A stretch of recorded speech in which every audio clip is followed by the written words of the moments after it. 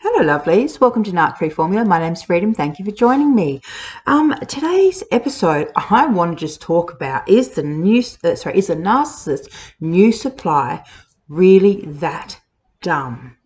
And the reason I want to talk about this is because um, when I was in my situationship, right, this is going back, you know, almost 20 years, almost, right? There wasn't this kind of information out there. There wasn't this awareness about narcissists and narcissistic personality disorder and narcissistic abuse. Like no one really knew, essentially. You know, it was only kind of later on in the, I don't know, 20, maybe 2012 or something, that people started kind of being kind of aware of this stuff. People started talking about it. But in this day and age, how can the new supply be so dumb? Well, I think there's a few things going on here. Um, let me know what you think in the comments, but this is my theory, right? Like I said, for the new supply in my particular instance, not only was she uh, someone who spent time with my family, so my ex husband and I, you know, in a family setting, she saw um, the day to day interaction. She saw everything that was going on. So not only did she have that insight, where literally I was, you know, talking to her about, God, I can't get him to leave. He won't leave. You know, um, at the time, her and her boyfriend were, I was allowing them to stay, camp out in our backyard because they were homeless, essentially. So they were homeless um, uh, drug addicts who I let stay in my backyard because they had nowhere to go and I felt sorry for them. And he was best friends, allegedly, um, with the boyfriend.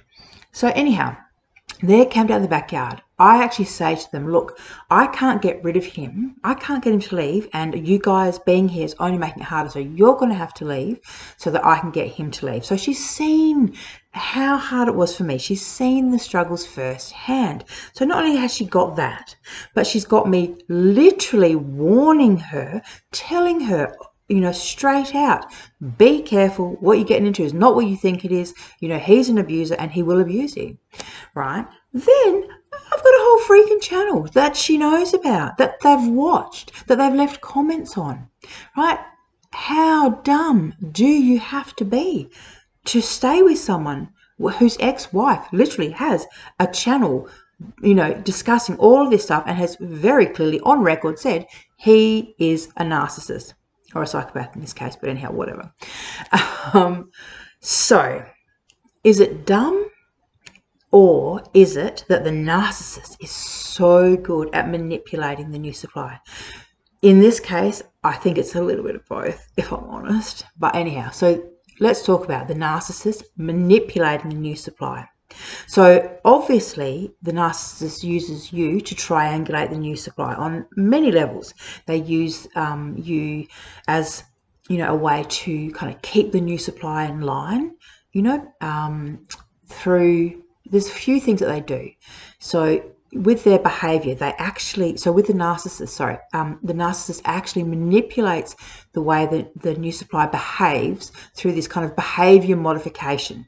And what I mean by that is they will say to them, you know, oh, my ex wife, you know, um, was, you know, such a good cook, you know, or she's so good with the kids, or she's so good in bed, or whatever, right? So they'll say the things that they liked about the ex wife and they'll kind of talk it up. So now she's got to compete with the ex wife or ex partner. So there's that. There's this kind of competitive nature being instilled. Then there's the opposite of that, and that is that once again, still behavior modification. Now they're saying, oh, my ex wife, I hated when she did that. She did this thing that drove me crazy. You know, so the, the new supply is making all these little mental notes of, oh, I better not do that. Know, if I don't want to make him unhappy, if I want to keep him, I better not do this, that, and I better do this, that, and what have you. You know, making all these little mental notes. And then when she does the right thing, she'll get the love bombing and the praise from the narcissist. And then when she does the wrong thing, she's going to deal with the silent treatment and all the other um, devaluation tactics. So pretty soon, like I said, she's kind of competing with the memory, essentially, the memory of you, or, um, and in some narcissist cases, the not only the memory but the threat of the ex coming back. You know? So narcissists obviously keep you know lots of people in their little narc harem lots of exes um, and they use those exes to keep the new supply in line. Those exes are the good exes the ones that are still sorry when i say good i don't mean good actual good i mean just good for the narcissist.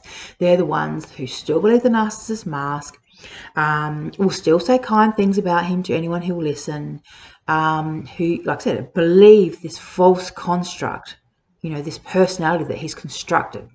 So having those women in the narc harem is a great thing for the narcissist, and the narcissist will use those exes, like I said, to keep the new supply in line. So she's now competing and feels threatened. Um, and also, another thing I personally noticed was when I was with my ex, he always made these little um, time references, you know, to how long he and his ex were together. And somehow in my mind, it became a bit of a thing. You know, like if we were together longer than they were together, then that means what we had was more real or more whatever. Um, obviously, not a really healthy way of thinking. Probably not the way I thought actually, but you know, because of all the manipulations and all the things that were going on, um, you know, probably that was the outcome, you know, me thinking that way, I ended up thinking was probably the outcome of all the other manipulations that was occurring. All right, so getting back to the narcissist new supply being dumb. Um, yeah, so like I said, they they they're looking at the time frame you know they're holding out for that. And there'll come a time once the time frame once you and he that time frame has been passed. So just say you were together for 10 years well once they've done 10 12 years that's when the realization was that okay will be that okay they've out you know outdone the the previous the woman before them but now what? You know? Uh, where is it actually going? So they will get to that stage. But in the interim, like I said, the, the narcissist manipulates the new supply, the way they think about you, the way they think about the relationship. Um, the narcissist will be telling the new supply, "Oh, you can't trust that, you know, that bitch. You know, oh, she lies." I mean, literally, I, I could just imagine. In my particular instance, I could only imagine what he's saying to her about me, and you just got to stop and think about the mental gymnastics that it would take right for her to think that my whole channel is just a way of getting back at him. I mean, literally, that's what he's telling her. That's what he's trying to make her believe because it's either, you know, it's either I'm telling the truth or I'm not. And if I'm not telling the truth, then what would be the point of having a channel where you talk about, you know, narcissistic personality disorder? What would be the point, right? So she's she has to at least be thinking that I'm doing it as a payback I don't know, it would just seem to me like a really crazy, um, t- huge waste of time. But, you know, I mean, he's probably got her thinking that. And unfortunately, um, the reality that I'm doing it because it was therapy and now I'm helping other people, that reality is something she can't let into her mind. You know, they cannot admit because as soon as they admit oh, yes, this person is a narcissist, right? As soon as they make that admission to themselves, then everything they know about narcissism, which is now, like I said, saturated through social media, everyone knows something at least about narcissism.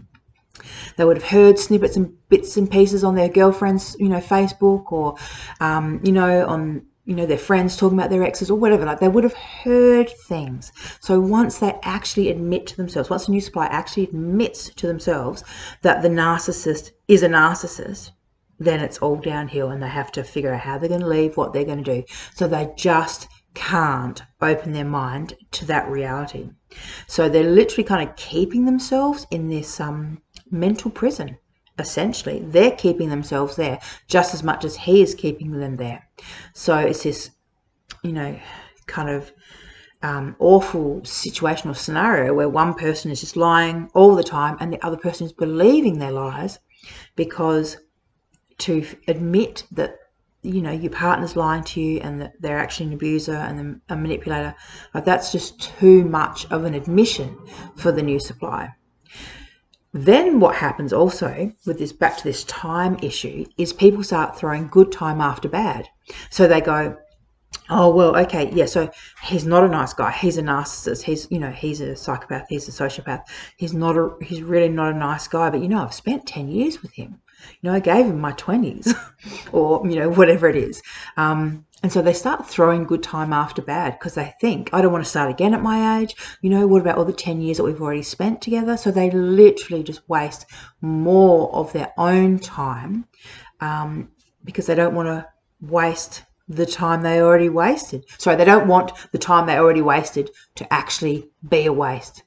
Even though anyone who's uh, escaped narcissist knows that you know these people there's no such thing as commitment the time you shared with them the second it was over it was over um, you know that kind of stuff like yeah the the new supplies reality is so far removed from actual reality it's just mind blowing all right guys just let me check my notes um, I'm going to add a link to, uh, I have a whole playlist about the new supply. Um, purely because when I was typing in my tag words, which is like hashtags essentially, um, for your channel, I put new supply as one of the first ones. And so now what YouTube does is any videos that I make about new supply, um, it actually will show that to more people than other videos of mine. So it's a bit of a catch 22 now because now I'm having to talk about the new supply a little bit more than I probably would like to. But anyhow, at the end of the day, it's no big deal. Um, it'll help someone out there. You know, I can guarantee that one of you watching is uh, feeling insecure about the new supply, is looking at the new supply thinking, oh, maybe she's the one. You know, actually, that's what I'm going to link right here. I have a video called Is She the One? Um, and the short answer is no, but you'll have to watch the video to hear the full answer. All right, darlings, thanks for listening. Bye.